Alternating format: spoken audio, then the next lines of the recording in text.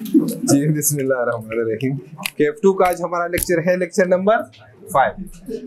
जी, कल हमने चैप्टर हम पढ़ रहे थे रजिस्ट्रेशन या फिर प्रोफ़ाइल ठीक है? बेसिक इन्फो हमने इसमें डिस्कस किया टैक्स ईयर को डिस्कस किया, कि टैक्स ईयर क्या होता है types of tax year discuss किए, ठीक है? और उसके बाद हमने पर्सनल स्टेटस डिस्कस किया कि जनाब पर्सनल स्टेटस क्या होता है? पर्सन की मीनिंग हमने समझ ली। और फिर हमने थर्ड नंबर पे residential status of a tax payer discuss किया कि जनाब अगर इंडिविजुअल हो तो ये कब रेजिडेंट होगा और कब नॉन रेजिडेंट होगा। अगर एओपी हो तो ये कब रेजिडेंट होगा और कब नॉन रेजिडेंट होगा और अगर कंपनी हो तो कब रेजिडेंट कब नॉन रेजिडेंट और इसी तरह गवर्नमेंट ठीक है? कल हमने स्कोप ऑफ़ टैक्सेबल इनकम अपना टॉपिक जो हमारा लास्ट टॉपिक था इस चैप्टर का, वो हमने स्टार्ट किया था। क्या था? स्कोप ऑफ़ टैक्सेबल इनकम इसका मतलब क्या था कि कौन सा पर्सन पाकिस्तान में अपने कौन से इनकम पे इधर दे मुझे? टैक्स पे करेगा। ये था ना? इसमें हमने क्या सीखना था? कि जनाब, कौन सा बंदा पाकिस्तान में अपनी कौन सी इनकम पे टैक्स पे करेगा? ठीक है? तो हमने इसके लिए पढ़ा के जनाब, इसके लिए हमें पता होना चाहिए कि जनाब, कोई पर्सन पर्सन की हमने पहले क्या फाइंड करनी है? जनाब, के ये क्या है? रेजिडेंट है या फिर नॉन रेजिडेंट है? अगर रेजिडेंट हो या फिर नॉन रेजिडेंट हो डजेंट मैटर हमने पढ़ा कि जनाब, इन दोनों की पाकिस्तान सोर्स इनकम पाकिस्तान में टैक्सेबल होगी। ठीक है? सोर्सेज ऑफ़ इनकम भी कल हमने डिस्कस कर लिए थे। ये नॉन रेजिडेंट की भी टैक्सेबल होगी। पाकिस्तान सोर्स इनकम का मतलब ये है कि जो इनकम ये पाकिस्तान से अर्न करेंगे, ठीक है, वो रेजिडेंट पर्सन हो या फिर नॉन रेजिडेंट हो, दोनों पर्सन पाकिस्तान में उस इनकम पे टैक्स पे करेंगे। ठीक हो गया? फिर हमने पढ़ा कि जनाब रेजिडेंट अपने पाकिस्तान सोर्स के साथ साथ फॉरेन सोर्स इनकम पे भी पाकिस्तान में क्या पे करेगा? टैक्स पे करेगा। ठीक है? मतलब और नॉन रेजिडेंट जो है, उसकी फॉरेन सोर्स इनकम पाकिस्तान में क्या होगी? एग्जिम्ट होगी। एग्जिम्ट का मतलब क्या बताया था? There will be no tax okay हो गया? और हमने कंक्लूड किया था कि जनाब, अगर रेजिडेंट होगा तो इसका मतलब ये होगा कि जनाब, वो दुनिया में जहाँ से भी पैसे कमाएगा, पाकिस्तान में उसमें टैक्स पे करेगा। और नॉन रेजिडेंट सिर्फ़ और सिर्फ़ पाकिस्तान सोर्स पे पाकिस्तान में टैक्स पे करेगा, जो बाहर से कमाएगा, उस पे टैक्स पे नहीं। ओके ओके यहाँ तक कोई क्वेश्चन अच्छा। अब आ जाए। अब ये जो रूल हमने पढ़ा, जिसको मैं इनसर्कल कर रहा हूँ, ये क्या रूल था? जिसको मैंने इनसर्कल किया है, सिर्फ़ ये बता। भाई इनसर्कल किया है। रेजिडेंट पर्सन की फॉरेन सोर्स इनकम क्या होगी? टैक्सेबल होगी। ये था ना? रेजिडेंट की पाकिस्तान सोर्स छोड़ दे। कौन सा सोर्स फॉरेन सोर्स क्या होगी? टैक्सेबल होगी। ये रूल है ना? बच्चे उधर, वो वो सीख रेजिडेंट की फॉरेन सोर्स पाकिस्तान में क्या होगी? टैक्सेबल होगी। ये रूल ये बनता है ना? जिसको मैंने इनसर्कल किया। इसके कुछ एक्सेप्शन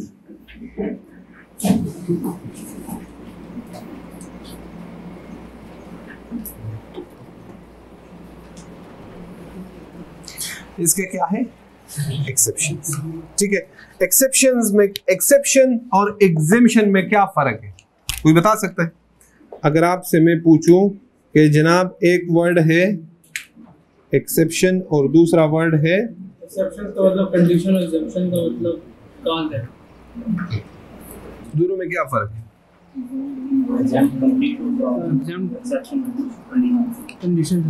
एक्सेप्शन में कुछ कंडीशन होंगे और एग्ज़ाम तो कंप्लीट होगा जी। और कोई बच्चा जिसको पता हो। अच्छा। और एक्सेप्शन और एग्जिम्शन में क्या फ़र्क है? अच्छा इधर समझिएगा बच्चों। एक्सेप्शन जो है ना एक्सेप्शन जब भी ये वर्ड यूज़ होगा ना तो ये किसके लिए यूज़ होगा? रूल के किसके लिए? रूल्स के लिए। रूल क्या था? रेजिडेंट की फॉरेन सोर्स इनकम क्या होगी? एक्सेप्शन क्या हो जाएगी? एक्सेप्शन कहते हैं जो नॉर्मल रूल है, उसके अगेंस्ट अपोजिट को कहते हैं। किसको कहते हैं? मतलब दिस रूल मत, इसकी मीनिंग क्या है कि this rule shall not be applicable in the following cases इसका मतलब यह है। एक्सेप्शन का कि ये वाला रूल जो केसेस अब पढ़ेंगे, उसमें ये वाला रूल एप्लीकेबल नहीं होगा। एग्जेम्शन जो है ना एग्जेम्शन का वर्ड आपने मेरे ख्याल में फ़र्स्ट टाइम सुना होगा, क्योंकि एग्जेम्शन का ताल्लुक है टैक्स के साथ। एग्जेम्शन का वर्ड यूज़ होता है इनकम के लिए। किसके लिए? ये रूल के लिए यूज़ नहीं हो। ये किसके लिए यूज़ होगा? इनकम जब कहेंगे कि दिस इनकम इज़ एग्जिम तो इसका मतलब यह होगा कि इस इनकम पे टैक्स नहीं होगा। ये इनकम टैक्स से क्या होगी? एग्जिम होगी। आप लोग कहाँ थे? अभी आए हैं कॉलेज अब्दुल्ला यार एक चेयर ला दो। आप इधर आ जाओ ना अब्दुल्ला आगे। आप मुझसे दूर थे तो मैं नाराज़ था। हाँ? क्या? समझ नहीं आई राइटिंग है राइटिंग राइटिंग यार वो एक चेयर ला दो इधर से। खुद ले आओगे? इस रूम से उठा ये अच्छा ठीक हो गया बच्चों। ये जो है एग्जेम्शन का वर्ड जो है ना ये यूज़ होगा इनकम के लिए। किसके लिए? इनकम के लिए। रूल के लिए। क्या यूज़ करेंगे? एक्सेप्शन समझ में आ रही बात? ये दरवाज़ा खोल लो।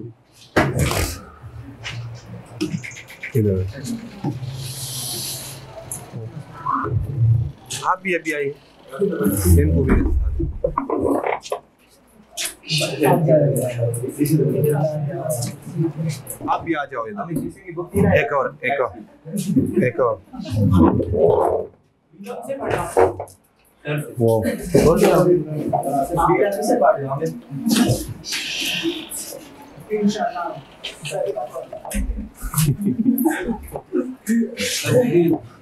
ये तो वो कह रहे हैं मैंने क्या कहा है? उधर उधर। जी ठीक हो गया। हाँ मैं लिख रहा हूँ। बच्चों यहाँ तक क्लियर है? ये बात क्लियर है? अब एक्सेप्शंस पे आ जाए कि रेजिडेंट पर्सन होगा। नॉर्मल रूल क्या था कि रेजिडेंट की फॉरेन सोर्स इनकम पाकिस्तान में क्या होगी? टैक्सेबल होगी। क्या होगी? टैक्सेबल होगी। ठीक है? अब हम जो है एक्सेप्शन पढ़ते हैं। तो एक्सेप्शन मैंने कहा, जो नॉर्मल रूल होगा, इसके क्या होगा? अगेंस्ट होगा ना? तो अगेंस्ट का मतलब क्या? कि कोई बंदा रेजिडेंट होगा this rule shall not be applicable resident होगा, लेकिन उसकी फॉरेन सोर्स इनकम पे टैक्स नहीं होगा। मतलब फॉरेन सोर्स इनकम टैक्स से क्या हो जाएगी? एग्ज़ाम ये एक्सेप्शन एक्सेप्शन में क्या हो जाएगा? कि एक पर्सन क्या होगा? रेजिडेंट होगा। क्या होगा? रेजिडेंट तोफीक आप इधर हो। यार आप चेयर इधर करो। उधर चले जाओ बच्चे। पीछे। यार इसमें या अटेंडेंस देख लो आज ना। जितने उधर है नेम तो उतने चेयर्स इधर पूरे कर लो आज। या फिर दूसरे क्लास इस हाल में देख लो। ठीक है इसमें आ जाएँगे। कल से क्लास पर इधर रखवा दो ठीक है? ये इधर करो ये चेयर इधर करो।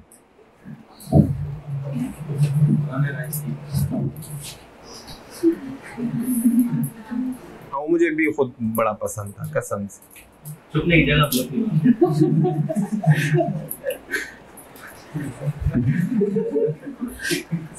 जी ठीक हो गया। बच्चों क्लियर है? एक्सेप्शन में क्या बन जाएगा? कि ये बंदा क्या है?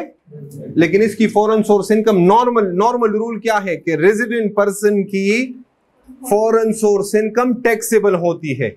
ये एक्सेप्शन है। एक्सेप्शन कहते हैं कि इन इन केसेस में ये रूल एप्लीकेबल नहीं होगा। जब रूल एप्लीकेबल नहीं होगा तो क्या बन जाएगा एक्सेप्शन कि रेजिडेंट होगा, लेकिन उसकी फॉरेन सोर्स इनकम एग्जेम्प्ट हो जाएगी। क्या हो जाएगी?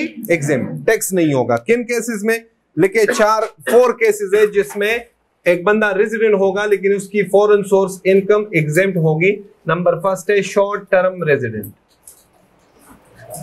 number first कौन है? नंबर सेकंड है रिटर्निंग एक्सपेट्रिएट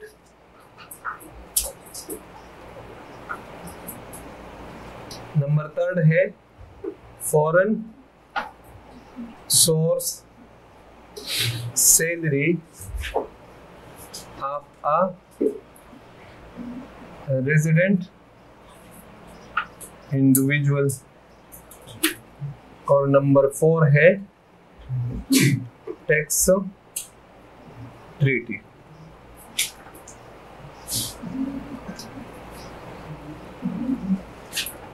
ठीक है?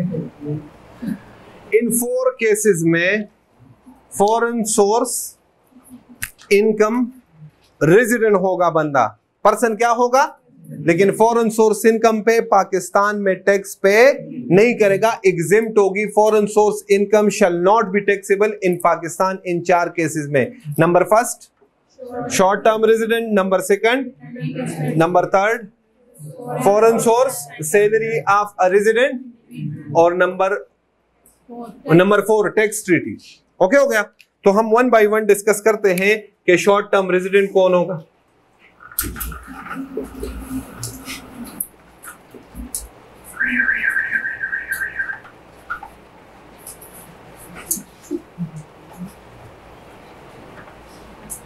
हम वन बाय वन डिस्कस करते हैं शॉर्ट टर्म रेजिडेंट कौन होगा? जिस, जो कि रेजिडेंट भी होगा, लेकिन उसकी फॉरेन सोर्स इनकम पाकिस्तान में टैक्सेबल नहीं होगी। तो शॉर्ट टर्म रेजिडेंट कौन होगा? इसके लिए कुछ कंडीशंस है। वो कंडीशन क्या है? If he or she is present in Pakistan only by reason of his her employment करे जनाब। पहला कंडीशन क्या आया? कि वो पाकिस्तान में, वो बंदा पाकिस्तान में प्रेजेंट हो सिर्फ़ और सिर्फ़ किस वजह से? उसका पाकिस्तान में होना रीजन क्या हो?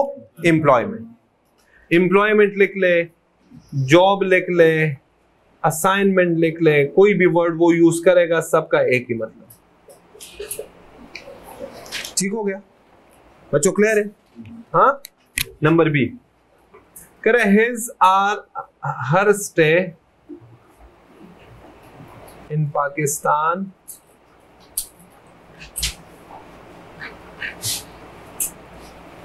is not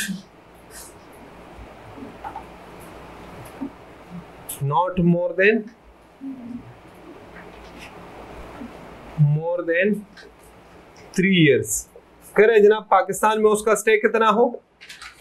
भाई कितना हो? तीन साल। तीन साल या तीन साल से कम। Exact more than three years लिखा। ठीक है? ये रूल जो है ना ये अगर हम देखें इसके आ, हम हिस्ट्री देखें ना तो ये फॉरेनर्स के लिए ये रूल बनाया गया किन के लिए बनाया गया था? फॉरेनर्स कैसे? पाकिस्तान में अक्सर बहुत सारी जगहों पे जो है ना जो कंस्ट्रक्शन के काम होते हैं या ये जो शाह शाहराय कराकुरम था ना, ये बन रहा था या डैम्स बनते हैं तो पाकिस्तान के पास ना वो मशीनरी है। स्किल्स वाले लोग तो है, लेकिन मशीनरी उस लेवल की नहीं है। तो ये डिफरेंट ममालिक से मशीनरी और कंपनीज़ को इनवाइट करते थे कि आके हमारे लिए ये कंस्ट्रक्शन करो। अब जैसे देखे दियामर बादशाह डैम जो है वो चाइनीज़ कंपनी बना रही है, वो दूसरा डैम भी वो बना रहे हैं। तो ये उनके लिए बनाया गया था। वो लोग कहते थे, जनाब, हम पाकिस्तान में आते हैं, पाकिस्तान के लिए सर्विसेज़ देते हैं। पाकिस्तान में आके जब हम 183 डेज़ गुजारते हैं, हम रेजिडेंट बन जाते हैं तो पाकिस्तान गवर्नमेंट हमें कहता है, वो जो चाइना में पैसे कमा रहे हो फॉरेन सोर्स इनकम उस पर भी टैक्स दे दो। मतलब हम आपके कहने पे यहाँ आए, आपको सर्विसेज़ दे रहे हैं, आपकी हेल्प कर रहे हैं और आप हमसे, हम जो चाइना में कमा चुके हैं, उस पर भी हमसे टैक्स ले रहे हो। तो उनके लिए एक रूल बनाया गया कि जनाब, अगर आप पाकिस्तान आए हो, किस वजह से? भाई, किस वजह से? हाँ? भाई reason of his her employment और नंबर सेकंड आपका स्टे कितना हो? नॉट मोर देन समझ में आ रही बात? ठीक है तो आप क्या कहलाओगे? शॉर्ट टर्म और शॉर्ट टर्म रेजिडेंट की लिखे foreign source income of short term resident is exempt if he or she did not bring or receive her foreign source income in Pakistan. एक थर्ड कंडीशन भी लगा दी। करे, बिल्कुल for short term resident की foreign source income क्या हो जाएगी? भाई, क्या हो जाएगी? एग्जेम्प्ट हो जाएगी, लेकिन शर्त क्या रखी? शर्त क्या रखी? नंबर थर्ड कंडीशन क्या रखी? कि वो न तो फॉरेन सोर्स इनकम पाकिस्तान साथ लेके आए और न पाकिस्तान में किसी बैंक अकाउंट के थ्रू रिसीव करे। तो फिर एग्ज़ाम होगी। फॉर एग्ज़ाम्पल मैं कहता हूँ कि एक बंदा था, उसकी मिस्टर एक्स था, ठीक है? वो टैक्स ईयर 2022 में पाकिस्तान आया और क्या बना? क्या बना? रेजिडेंट कब बनता है? 183 डेज़ गुजारे पाकिस्तान। क्या बन गया? रेजिडेंट ओके हो गया। अब जब वो रेजिडेंट बना, लेकिन कौन सा रेजिडेंट बना? शॉर्ट टर्म वो पाकिस्तान आया जॉब के लिए, ठीक है? और उसका ये असाइनमेंट जो था, ये दो साल का था। कितने साल का था? दो साल।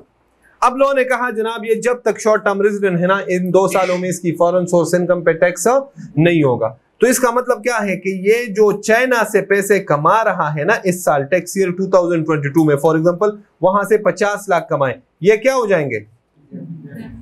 जो पाकिस्तान से कमा रहे वो टैक्सेबल होगा ये रूल सिर्फ़ किस पे एप्लीकेबल है?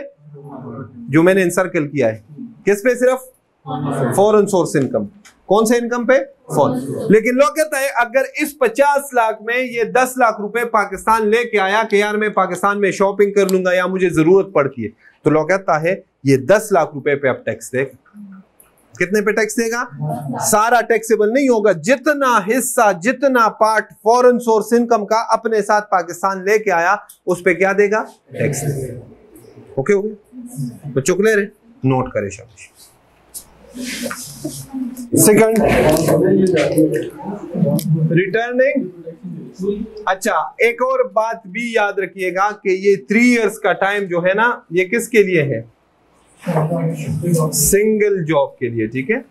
अगर ये ये कंप्लीट करे और ये चला जाए और छह महीने ये किसी दूसरे असाइनमेंट पे आ जाए तो फिर तीन साल स्टार्ट से होगा। वो हैं जिनमें टेन्योर पाँच से ज़्यादा होता है। वो 500 साल का हो रूल यही रहे। हम प्रोजेक्ट के टेनेवर को नहीं देखेंगे हम उस बंदे के टाइम को देखेंगे। अगर कोई बंदा आए पाँच साल के लिए ठीक है? तो कंडीशन पूरी हो गई। कंडीशन कितनी है? दो। नंबर फ़र्स्ट जॉब के लिए आ रहा हूँ। नंबर सेकंड कितने साल के लिए आ रहा हूँ? वो बेशक वो प्रोजेक्ट हो कितने साल का?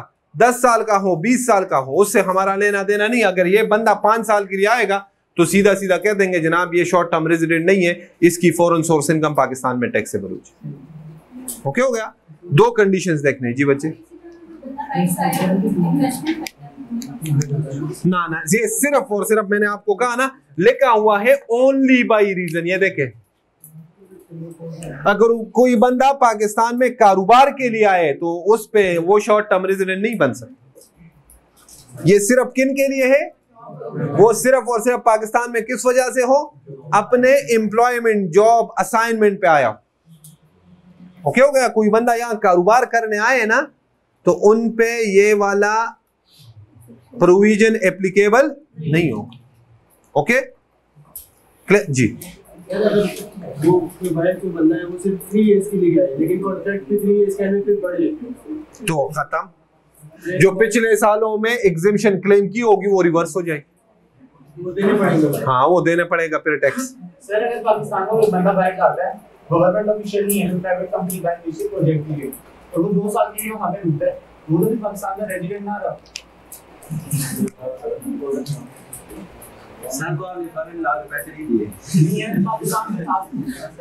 तो नॉन रेजिडेंट है तो बात खत्म। नॉन रेजिडेंट की पाकिस्तान सोर्स इनकम टैक्सेबल होगी फॉरेन सोर्स इनकम एग्जिम्ट होगी।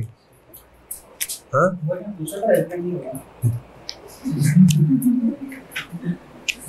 इग्नोर करें। हाँ किसी और का कोई जेन्युइन क्वेश्चन हो तो पूछ। ये कल मुझसे क्वेश्चन पूछता है चैप्टर नंबर फोर फाइव का। मैंने नहीं पूछा था तो आप क्या उस्ताद हो उनके? हाँ फिर? मैंने कहा सर मुझे खुद भी नहीं आ रहा बड़ा यार। तो उधर तुम्हें मैंने दूर बिठाया है अब गर्दने से मोड़ के उधर भी देख रहे हैं। जी सेकंड क्या है? रिटर्निंग एक्सपेट्रिएट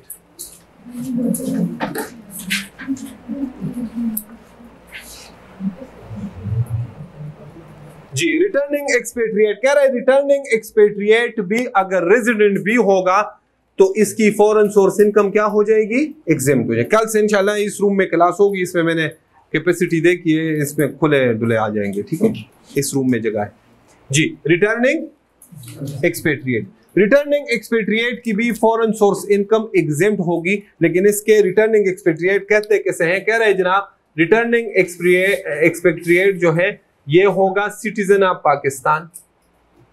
जैसे वो फॉरेनर्स के लिए बनाया गया था ना, ये किन के लिए बनाया गया है? पाकिस्तानियों के लिए। Number second he or she या छोड़े ही आर शी छोड़े resident resident in current tax year current tax year में वो क्या हो? रेजिडेंट हो and was non-resident in preceding four tax years. Current year में तो क्या हो? भाई करंट ईयर में क्या हो? तो एक्सेप्शन ही वही पढ़ रहे हैं कि रेजिडेंट होगा तो ये रूल एप्लीकेबल होगा ना। नॉन रेजिडेंट की वैसे भी फॉरेन सोर्स इनकम क्या है? आपको ये भी कंफ्यूज करेगा। हाँ कभी कभी नॉन रेजिडेंट के लिए कोई एक्सेप्शन की ज़रूरत नहीं है। नॉन रेजिडेंट के लिए नॉर्मल रूल है कि उनकी फॉरेन सोर्स इनकम क्या होती है? एग्जेम्प्ट होती है। ये रेजिडेंट के लिए एक्सेप्शन है।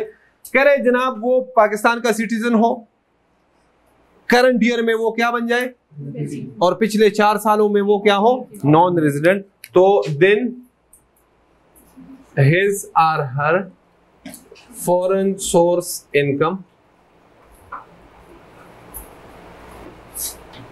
In current tax year and next following tax year shall be exempt from tax जी। कितने कंडीशन है बच्चों? तीन। कौन कौन से? Citizen of Pakistan resident in current tax year non resident in preceding four tax years तो फिर कितने सालों की? दो सालों की हाँ? कितने सालों की? करंट और क्या हो जाएगी? कौन सी इनकम फॉरन सोर्स ये आपने देखा होगा, हमारे सोसाइटीज में सबको ये पता होगा कि फॉरेन कंट्रीज़ में लोग जाते हैं जॉब के लिए बिज़नेस के लिए, ठीक है? उधर टाइम गुजारते हैं, ये प्रोविज़न उनके लिए बना था। कैसे? देखिए, मेरे पास अगर ये हो टाइम पीरियड फॉर एग्जांपल 2020 में वो क्या बना? भाई, क्या बना? रेजिडेंट 19 18 17 और 16 इनमें क्या था? अच्छा कुछ बच्चे सोचते हैं, इसमें आया ना हो पाकिस्तान। पाकिस्तान आया हो, लेकिन रेजिडेंट ना बना।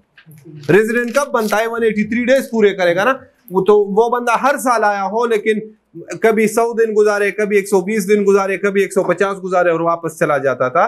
तो इन चार सालों में क्या रहा हो? पिछले चार सालों में क्या रहा हो? नॉन रेजिडेंट तो लोग कहते हैं, अगर ये दोनों कंडीशंस मीट कर गए तो टैक्स ईयर 2020 की फॉरेन सोर्स इनकम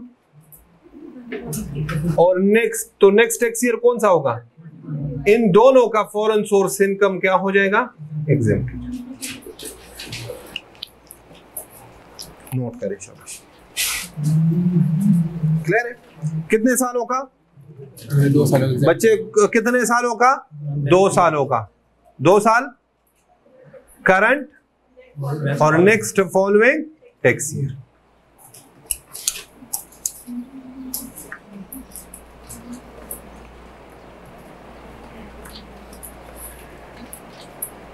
नज़र आ रहे हैं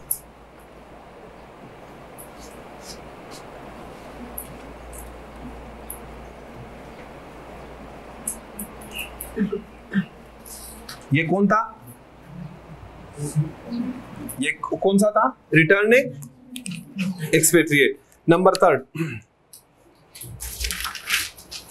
foreign source salary of a resident individual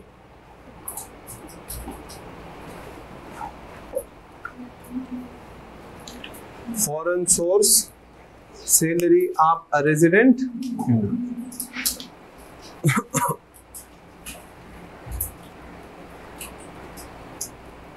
अच्छा इससे पहले मैं आपको एक और कॉन्सेप्ट जो है ना, वो समझा देता हूँ। ये रेस कर दूँ कि नहीं? ये यहाँ पे कर दूँ। कल हमने पढ़ा था एक टॉपिक हमने पढ़ा था। कौन सा था? सोर्सेज ऑफ़ इनकम पढ़ा था ना? क्या पढ़ा था? सोर्सेज ऑफ़ इनकम ठीक है? यस सर अच्छा। इधर देखें। आज थोड़ा सा इस पे डिस्कशन करते हैं। ये हमारा वैसे पूरा कोर्स है heads of income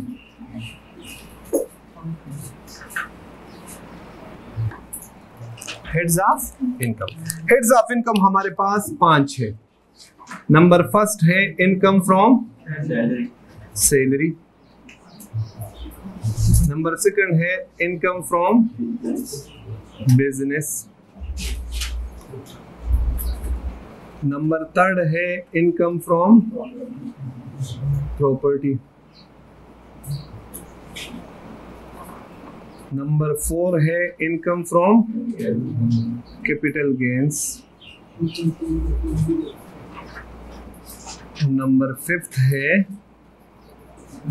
income from other sources ये आप लोगों ने कहाँ से पढ़ा है भाई? है तो क्या हुआ? बुक से क्या होता है? हाँ मेरे पीछे की बुक लाया करो ना। सर के पास जो उधर से हो। इससे क्या होता है? उधर से पढ़ते हैं सर। आप यूँ शरीफ बंदा है। शरीफ नहीं है सर कहाँ से शरीफ है ये। है कभी इस इस इस तुमने बताया था? अच्छा। कभी अकेले में कितने हेड्स है फाइव कौन कौन से? Salary business property capital gains और अदर्स ठीक हो गया। अब अगर मैं कहूँ अच्छा हेड्स ऑफ़ इनकम का कॉन्सेप्ट क्या है, ये समझिएगा। हेड्स ऑफ़ इनकम का कॉन्सेप्ट ये है ना बच्चों, कि इनकम टैक्स ऑर्डिनेंस हमें बताता है कि जनाब, अगर कोई बंदा लाख रुपए कमाए साल का, कोई करोड़ कमाए, कोई अरबों कमाए, कोई करबों कमाए टैक्स पर्पजेस के लिए आपने इस इनकम को इन फाइव हेड्स में क्लासिफाई करना। क्या करना है? क्लासिफाई करना। क्लासिफिकेशन करनी है। फॉर एग्ज़ाम्पल आपको कहेगा कि जनाब, एक बंदा है मिस्टर ए और उसने इतने अरब रुपए पिछले साल कमाए। आप कहोगे, जनाब, ये इतने अरब आए कहाँ से? आप सोर्सेज देखोगे। तो जिस सोर्स से पैसे आ रहे हो, ये हम सीखेंगे पूरा हमारा कोर्स है। कि इस सोर्स से आएँगे तो इनकम फ्रॉम सैलरी में जाएँगे, इस सोर्स से आएँगे तो प्रॉपर्टी में जाएँगे कैपिटल गेन में जाएँगे बिज़नेस में जाएँगे और अदर सोर्सेज में जाएँगे। लाजमी नहीं है एक बंदा दस करब कमा ले और एक ही सोर्स से कमा ले और सोर्स कौन सा हो? इनकम फ्रॉम बिज़नेस बाकी चार हेड्स में उसका एक रुपये भी ना हो। कोई ऐसा पर्सन हो सकता है जिसके दो हेड्स ऑफ़ इनकम हो। कोई ऐसा हो सकता है जिसके तीन हो, कोई ऐसा हो सकता है जिसके चार हो, कोई ऐसा हो सकता है कि जिसके और कोई ऐसे हो सकते हैं जिनका कोई भी ना हो, जैसे आप लोग। समझ में आ रही बात? आप अर्निंग नहीं कर रहे, आपकी कोई हेड ऑफ़ इनकम नहीं। ठीक है? तो ये जो है, ये इतना बड़ा, इसको मिस्टेक लॉ इसको मिस्टेक ट्रीट नहीं करता, इसको ब्लंडर ट्रीट करता है। इसके हम जो है ना कॉन्सिक्वेंसेस पढ़ लेंगे कि अगर कोई, पहले ये कॉन्सेप्ट समझ ले, फिर मैं जो, जिसके लिए मैंने ये आपको समझाना है ना, ठीक है, वो उस पे मैं आता हूँ। अगर फॉर एग्ज़ाम्पल एक बंदा है, उसकी इनकम फ्रॉम सैलरी है कितनी? दस। बिज़नेस है, दस। प्रॉपर्टी भी दस थी, लेकिन प्रॉपर्टी उसने शो नहीं की। प्रॉपर्टी वाली इनकम कहाँ पे शो की? समझ में आ रही बात? तो आप टोटल करें इनकम कितनी आई? मैं इसको कहता हूँ टोटल इनकम कितनी आई? पचास। और अगर अब वो टी क्लासिफाई करे, दस दस दस तो फिर कितनी आई? टोटल इनकम पे कोई फ़र्क आया? लेकिन लॉ कहता है ये मिस्टेक नहीं है ये क्या चीज़ है? ब्लंडर ये क्या किया? टैक्स पे भी कोई फ़र्क नहीं आएगा इनकम पे भी कोई फ़र्क नहीं है। मतलब ये ऐसे हैं कि ये हर एक इनकम के अपने अपने घर है। किसी और के घर में जाओगे तो क्या होगा?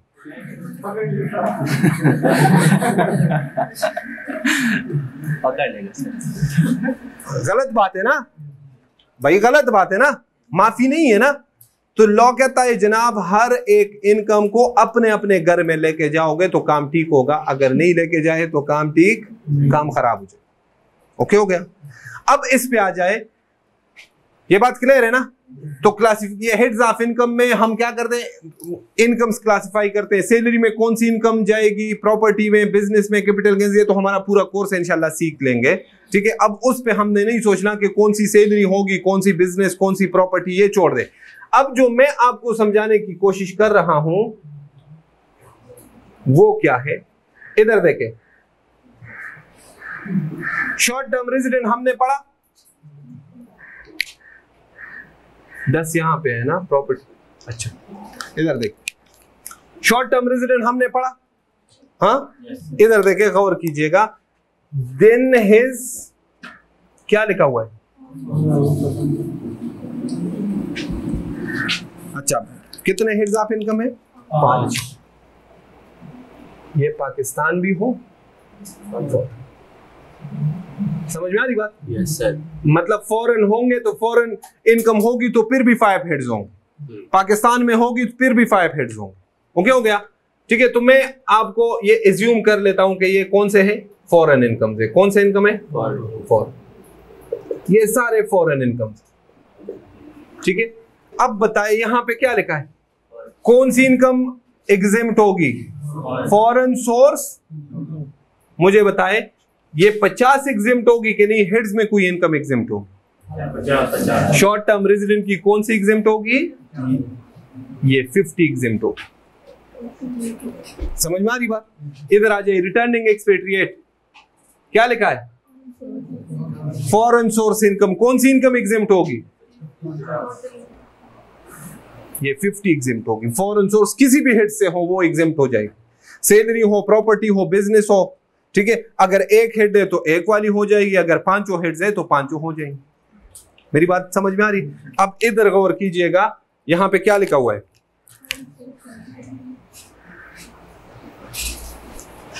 क्या लिखा हुआ फॉरन सोर्स अब उधर देखें, कोई सैलरी इनकम आ रही है? तो ये थर्ड वाला प्रोविज़न सिर्फ़ और सिर्फ़ इस दस रुपए पे एप्लीकेबल होगा। ये बाकी अगर होंगे ना तो ये टैक्सेबल होंगे। ये टैक्सेबल ये मतलब थर्ड वाले प्रोविज़न में टैक्सेबल कितना होगा? और एग्ज़ाम कितना होगा? मेरी बात समझ में आ गई? बच्चों, ये बात समझ में आ गई? तो ये गौर कीजिएगा कि ये वाला प्रोविज़न जो है ना, ये एप्लीकेबल है सिर्फ़ और सिर्फ़ किसके ऊपर? कौन सी सैलरी के ऊपर? फॉरेन सोर्स सैलरी के ऊपर। किसके ऊपर? दो केसेस में फॉरेन सोर्स सैलरी एग्जेम्ड होगी रेजिडेंट पर्सन की number first if he or she has paid or payable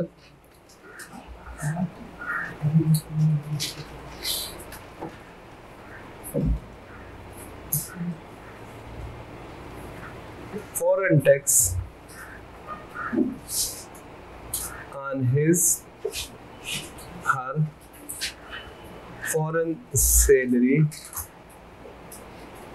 in that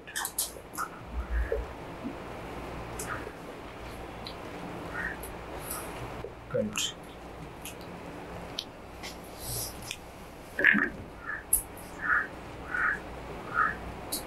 अगर क्या किया हो? अगर उसने उस कंट्री में अपनी फॉरेन सोर्स सैलरी पे उस कंट्री में क्या कर दिया हो तो पाकिस्तान आके उसकी फॉरेन सोर्स सैलरी क्या हो जाएगी एग्ज़ाम एविडेंस दिखा देंगे कि जनाब, मैं यूके में जॉब करता हूँ उधर से मुझे सैलरी आती है। ये देखो यूके गवर्नमेंट को मैंने अपने यूके की सैलरी पे टैक्स दे दिया है। तो लॉ कहता है, पाकिस्तान में डबल टैक्सेशन नहीं है। लिख ले कहीं पे बड़ा बड़ा नोट ऊपर रजिस्टर के ऊपर, कहीं पे लिख ले स्टार्ट में लिख ले। There is no double taxation in Pakistan. Pakistan में डबल टैक्सेशन का कॉन्सेप्ट नहीं है। एक इनकम पे आपने टैक्स पे कर दिया पाकिस्तान में या बाहर। दोबारा टैक्स नहीं होगा।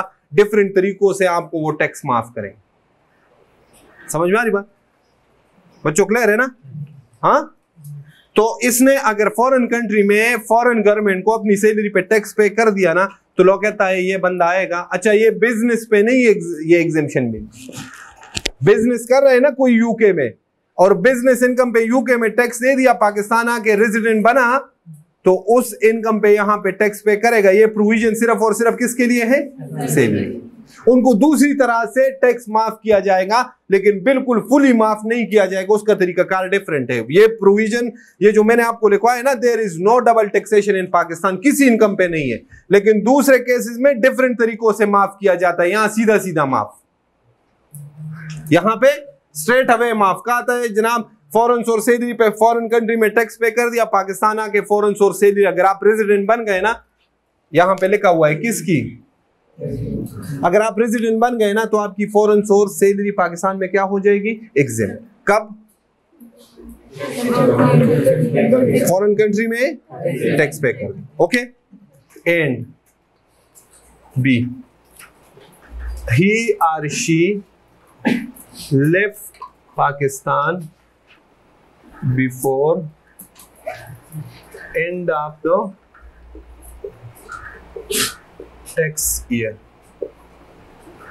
कह रहे जनाब, दूसरा, वो पाकिस्तान छोड़ के चला जाए, इसका मतलब क्या है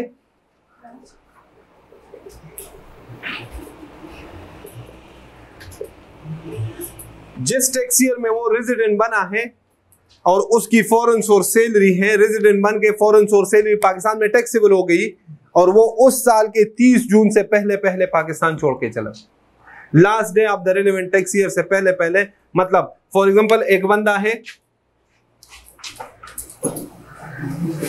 टैक्स ईयर 2020 में फ़र्स्ट जुलाई 19 टू 30 जून 20 बनता है ना, क्या बन गया?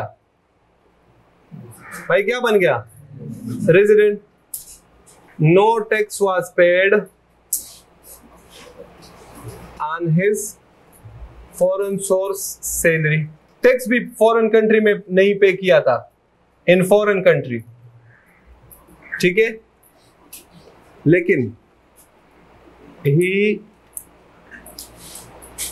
left Pakistan on 29 June 2020 and came back on 1st July 2020 सिर्फ़ एक दिन के लिए पाकिस्तान से बाहर चला जाए, वो दिन कौन सा है? बड़ा इंटरेस्टिंग रूल है। थर्टियथ जिस टैक्स ईयर का इनकम टैक्सेबल हो गई ना, उस टैक्स ईयर के 30 जून को वो पाकिस्तान में ना हो। बेशक अगले दिन फिर आ जाए। फ़र्स्ट जुलाई को कौन सा टैक्स ईयर स्टार्ट हो जाएगा? तो लोग कहता है, इसकी फॉरन सोर्स सैलरी क्या हो जाएगी? Example though he has not paid foreign tax in the foreign country foreign country में भी टैक्स पे नहीं किया, उस सैलरी के ऊपर। फिर भी फॉरेन सोर्स सैलरी क्या हो जाएगी? बच्चों, क्या हो जाएगी? एग्ज़ाम अच्छा यहाँ पे ऑर्डिनेंस ने एंड लिखा हुआ है। क्या लिखा हुआ है? क्या लिखा हुआ है? एंड लेकिन इसकी इंटरप्रिटेशन क्या है? ये दोनों रूल्स साइमल्टेनियसली मीट होना ज़रूरी। ये दोनों रूल्स अलग अलग हैं। बहुत सारे लोग जो है ना इसको गलत पढ़ाते हैं। कहते हैं, ये दोनों साइमल्टेनियसली नहीं। ये साइमल्टेनियसली पूरे करना नहीं ज़रूरी। ये वाला रूल पूरा हो गया, फिर भी फॉरेन सोर्स सैलरी एग्ज़ाम ये वाला ना, उधर देखे ना मैंने इस एग्ज़ाम्पल के लिए उधर लिखा हुआ है कि फॉरन कंट्री में टैक्स भी नहीं पे किया, फिर भी उसकी फॉरन सोर्स सैलरी क्या हो जाएगी? एग्ज़ाम ओके बच्चों क्लियर है? चले नोट करें।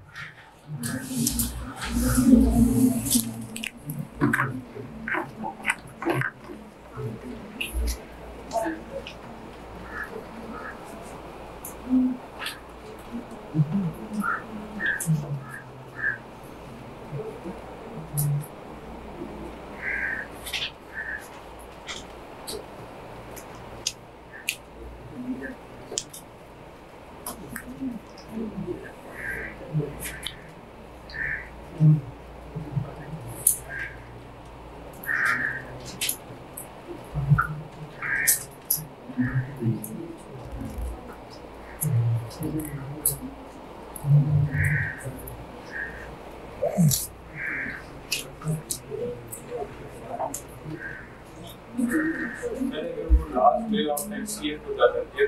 हाँ? क्या? है एग्ज़ाम नहीं तीस जून को जाता है बारह बजे। Part of the day shall be counted as a full day याद है ना? वो पढ़ा था। उनतीस जून को जाएगा तो एग्ज़ाम होगी या उनतीस जून से पहले जाएगा। समझ में आ रही बात? बीस जून को चला जाए। मार्च में चला जाए अप्रैल में चला जाए मई में चला जाए तीस जून को वो पाकिस्तान में ना होएगा आपने तो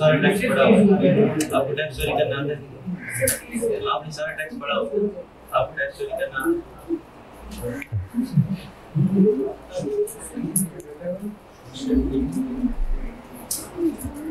मैंने आज तक एक रुपए टैक्स पे नहीं किया बस बात खत्म। सर आपको टैक्स चोरी करने से मिला क्या? नहीं नहीं मैंने इमरान खान के गवर्नमेंट में पे किया था। पैसे तुमने दिए हैं बीस हज़ार रुपए। सवाल तुम पूछ रहे हो बीस लाख के लिए। नहीं पचास हज़ार। दिमाग ठीक है पचास हज़ार तू मेरे ऑफ़िस में आके पचास हज़ार पे तू मुझसे मुलाकात भी नहीं कर सकता। ये तो इधर आगे किस्म किस्म की बातें करते हो। ये किसी दिन मेरे क्लाइंट बन के आओ ना। कभी अकेले में भी जाता है। आप मिले तो। कभी आपको है ना जी। हाँ मेरा आप सरकार क्लियर हो। गया। आप सरकार करके बुलाते हैं बातें कैसे बताएँ आप? हैं। इसके इसके साथ मेरे स्पेशल ताल्लुकात सर मेरे सर का अच्छा अगला है टैक्स ट्रीटी नंबर फोर। ये समझ आ गई बच्चों? ये जो है ना, ये वाला topic one of the most important topic पूरे टेक्स्ट में, हा। ये इस चैप्टर का नहीं, ये पूरे टेक्स्ट का one of the important topics में से एक है। ठीक है? ये ये पूरा, ये जो स्कोप ऑफ़ इनकम जो कल से मैं पढ़ा रहा समझ में आ रही बात? क्योंकि आपका आगे पूरे टेक्स्ट जो है ना, इसके ऊपर डिपेंडेंट तो आपने इसको बिल्कुल क्रिस्टल क्लियर करना है। आज घर जाके ये चीज़ें याद करनी है रूल्स याद करने क्वेश्चन वगैरह ना करें, वो मैं कल इंशाल्लाह पास पेपर शुरू कराऊँगा। इनके भी क्वेश्चन कराऊँगा। कल मैं आपसे सुनूँगा कि जनाब मुझे इसके बता दे, इसके बता दे, मुझे उर्दू में बता दे आप बेशक इंग्लिश में ना, लेकिन कॉन्सेप्ट आपके क्लियर क्लियर है ना बच्चों? जी टेक्स ट्रीटी टेक्स ट्रीटी क्या चीज़ है? ये एग्रीमेंट का नाम है। किस चीज़ का नाम है?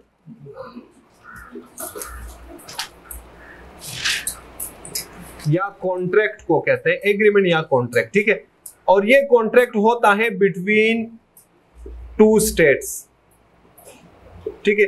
इसकी कोई भी कॉन्ट्रैक्ट तो आपको पता है, आप बिज़नेस लॉ पढ़ रहे हो कि कॉन्ट्रैक्ट तो आप लोग बनाते हो अगर आप पार्टी हो तो आप कोई भी टर्म्स एंड कंडीशन रख सकते हो। लॉ ने कहा, जनाब, अपने आप को लॉफुल लॉफुल आप कोई भी टर्म्स एंड कंडीशंस रख दो, मुझे कोई एतराज़ नहीं मैं तो उसको देखूँगा जो आपने और दूसरी पार्टी ने आपस में क्या किए हैं?